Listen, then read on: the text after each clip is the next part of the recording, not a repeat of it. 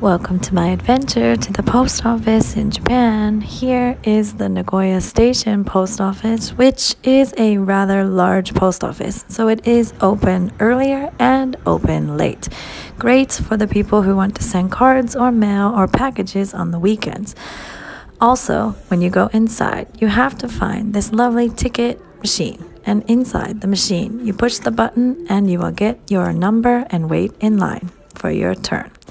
Today, I was sending out some postcards to the homeland, America, and I needed some airmail stamps. And then, once I got all my stamps ready, put everything on, put it in the big red box. That's where it goes. Let's hope my postcards arrive within the next month. What an adventure!